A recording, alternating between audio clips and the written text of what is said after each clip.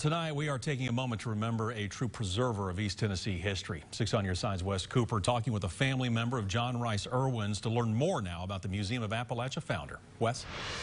Bo, John Rice Irwin passed away over the weekend. He was 91 when he passed away, leaving behind a legacy that is sure to live on for years to come.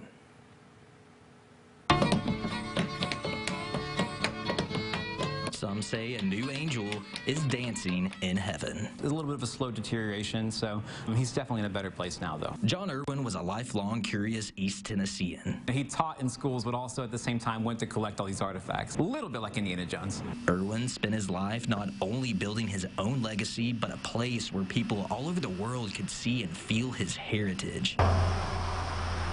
He opened the Museum of Appalachia in 1969 after his family encouraged him to look deeper into his past. And he started in the 1960s with a cabin and with uh, you know artifacts that he collected from throughout the hills and hollers of southern Appalachia.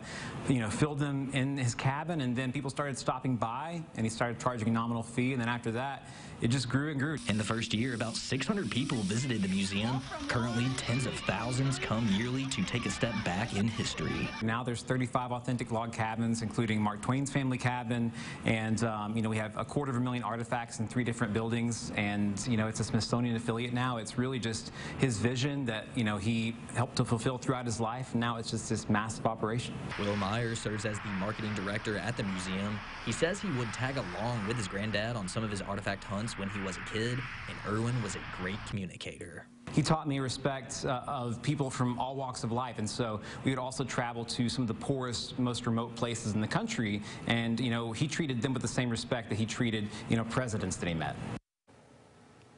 Irwin was also the youngest school superintendent in Tennessee. He was elected to serve as the head of Anderson County Schools in 1962 when he was just 31 years old. Irwin also served in the Army during the Korean War. Bo. All right, Wes, thank you. You know, John Irwin will be laid to rest this week. The Museum of Appalachia will be hosting his celebration of life ceremony Sunday at 2 o'clock.